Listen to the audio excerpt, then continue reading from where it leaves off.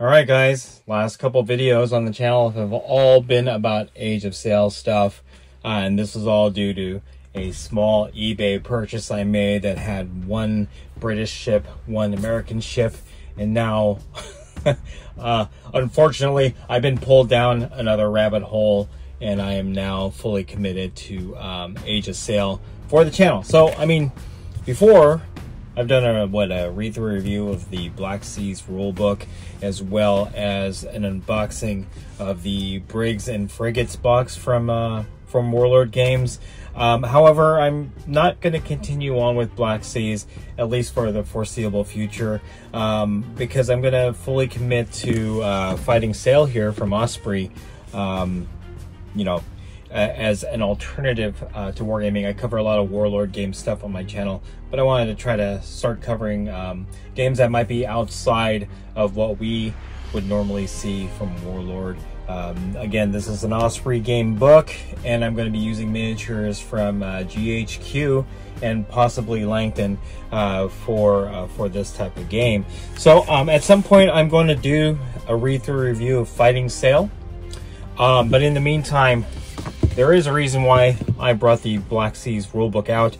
I'm actually using it uh, for some of the uh, painting stuff here. So, um, in fact, this is such a great book. It has a lot of wonderful information. And if you're not familiar with Age of Sail, especially during the Napoleonic period, uh, it has a lot of great information uh, and historical stuff to, to get you into that um, into that period of time uh, for naval combat. Now, um, the wonderful thing about this book is, again, it's, it's chock full of information, but there is a wonderful painting guide that is available here that kind of just gives you a quick overview of what um, certain nations' ships would normally be painted as.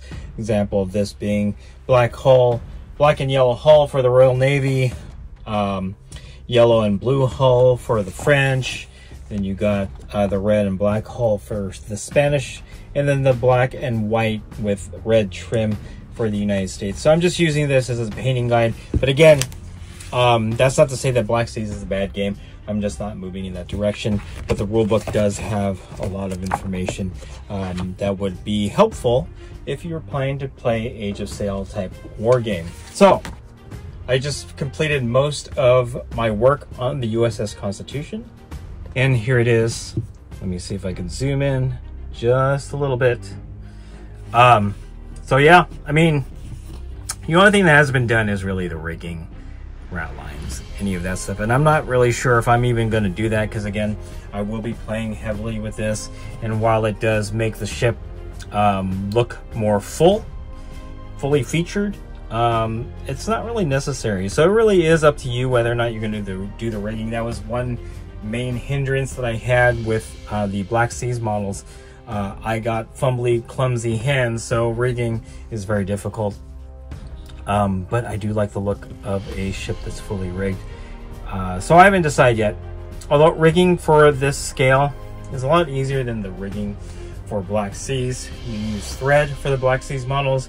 You can actually use uh, brush bristles that are either painted black or are black, and then you would just run them as you would normal normally for rigging on a on a ship. So haven't decided yet. I might just do it, um, but we'll see. Uh, I do like how my base came out. This is a NBF uh, 80 by 40 base. And I, I, you know, it looks pretty good. I can move it around the table, move it around the table just fine. Um, and again, um, a lot of tutorials are out there on what to use. I actually used, um, and let me get that out of the way real quick. And we will zoom back out. I use this, just uh, some normal drywall spackling. So the neat thing about this particular spackling from Home Depot is that it starts off pink and as it dries it turns white. So it'll tell you when it's fully cured. Um, so you don't have to wait. But in any case, I got my first ship mostly done here. I am, um, you know, based on that purchased making an American and a British fleet. And I kind of want to show off um, stuff that I'm adding to that. I, I, am working on the El Diana or the HMS Diana. I couldn't find any historical reference to a ship specifically called the El Diana.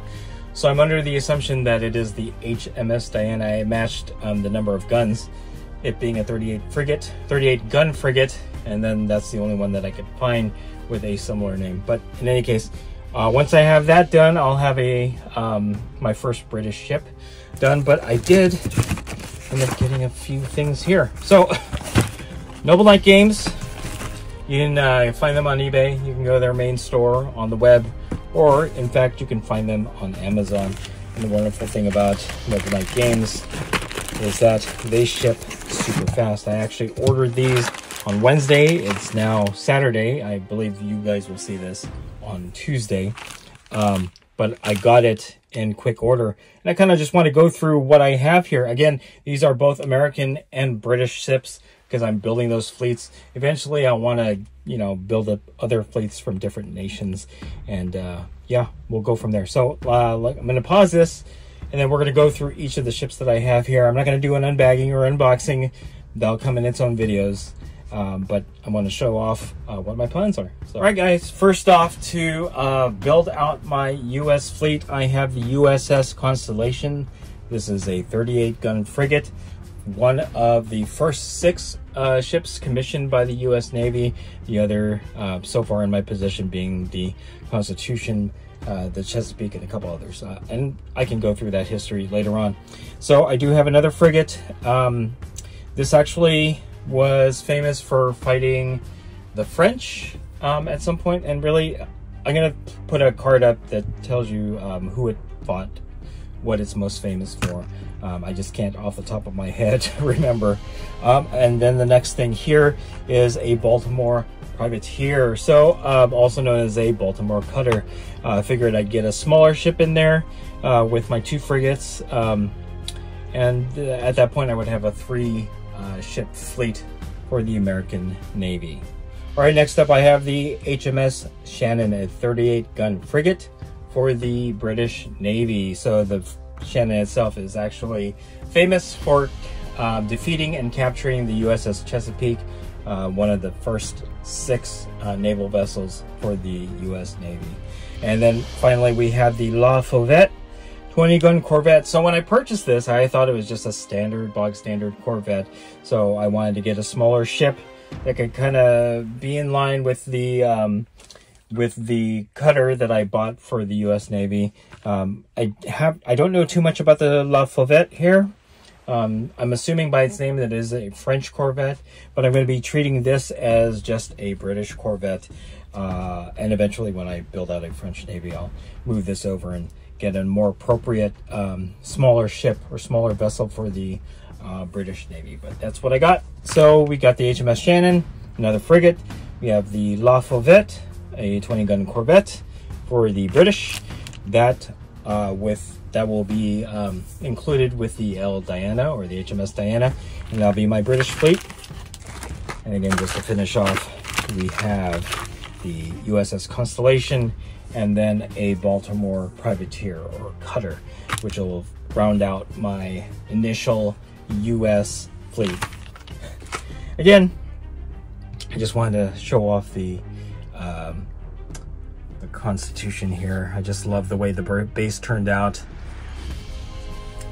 So anyway, lots of things coming out of the channel for Age of Sail. Again, we will be doing, or I will be doing, uh, zoom this out fighting sail as the main uh, rules for uh, naval wargaming. Uh, eventually, I might circle back to Black Seas and try my hand at the uh, rigging again, but you know, with the um, GHQ miniatures being 1 1200th scale, um, you can get away with um, painting them a certain way and, um, you know, rigging or not rigging the ships, they'll still look good on the uh, board. So anyway, hopefully you guys enjoyed this video. I'm very excited to be doing Age of Sail and, and more specifically Fighting Sail and getting all my fleets ready for some gameplay. If you like this video, go ahead and click like. If you haven't subscribed to the channel, I appreciate it if you would click the bell notification icon to get notified of all new uh, Age of Sail content coming on the channel, and then click the link in the description below to join our Discord server. That is the best way I can personally interact with you and chit chat you about Fighting Sail, GHQ miniatures, and any other game or miniature line that we cover on the channel. Thanks for watching. Stay tuned for more hobby vlog from WarGamingNewb Historical.